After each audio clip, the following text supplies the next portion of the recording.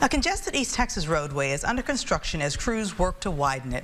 George Richey Road in Longview is a well-traveled stretch between White Oak and Highway 300 that's become too narrow to accommodate all of the traffic.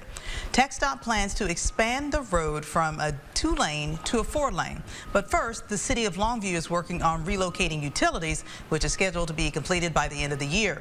The Public Works Department says folks living along this road may experience driveway interruptions during the installation of the main lines. They also say water service interruptions should be expected.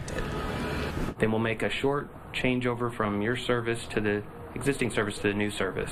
So you might see a brief interruption, just a matter of minutes, um, but we'll give out a notice. Um, actually, it looks like this. Okay. And that notice will be a door hanger to let people know kind of what day and to anticipate it so we don't catch anybody unawares. The Public Works Department is asking residents to contact the wastewater and sewer emergency line if they or someone they know has special needs along this corridor. The widening portion of the project is set to start by the summer of 2025. Tonight.